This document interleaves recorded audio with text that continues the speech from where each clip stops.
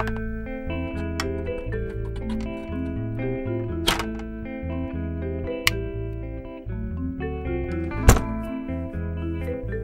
for you? Ready? Okay, excellent. I'm just going to jump right in. Go I ahead. apologize. No, I apologize. Uh, I'm the guilty one. do Americans know how to deal with grief? I don't think so. I don't think our culture is at all comfortable with getting old, let alone dying. And you know, and, and the cake eaters is really the whole beginning. Is this?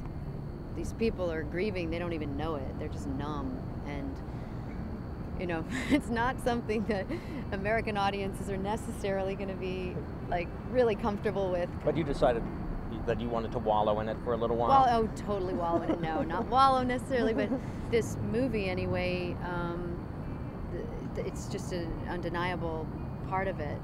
So why do you embrace this movie as your directorial debut uh, when, it, when it seems like the themes would be somewhat foreign to you?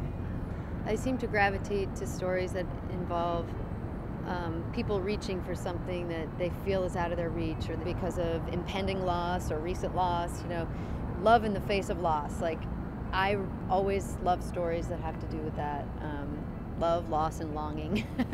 Novels that I read. It's just it's like kind of cliche. Seeing this, I mean, we all face death and tragedy in our lives at some point. Do you feel as prepared as Kristen Stewart's character to, to face that in your own life? I don't know. I don't know. I think, you know, I, I heard an interesting thing on NPR about this man who was paralyzed at 13.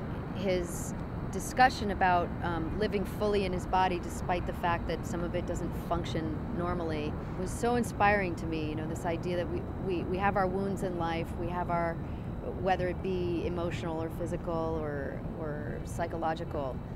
And, you know, we have to learn to live with what we have. Uh, the family is so important uh, in the movie. You have the two clans Yeah. in there, and family has been important to you. Is Yeah. that? Do you think that is really sort of the uh, potential saving grace for people in dealing with grief in life? Oh, definitely. For me, it just causes the grief in my life. But well, that's it, isn't it? But but you know, but ultimately, but ultimately, they were there at the beginning, and they'll be there at the end, and um, it's about relating to what you have. You know, it's about learning to uh, love the one you're with. you know, um, whatever that means. Sometimes that means staying away. I don't know. Um, so all these things, so the acting and the writing, and directing, all those, are they really things that are just to satisfy you in the moment, or is there something about art that is a grasp at immortality of some sort? Maybe it is a grasp at immortality. Um, I don't know. They are like little children, you know. They do survive you. These works of art. Um, so in that sense, yeah, there's definitely there's definitely the little immortality project going on. But more than that, it's just about reaching people in this moment, like trying to communicate something across this chasm, you know, the, the divide. How would you want to be remembered from all of this? Oh, I don't know. Um, I- I guess as someone who questioned things and took risks and and tried to be compassionate, respectful to people. I don't know. That's about it.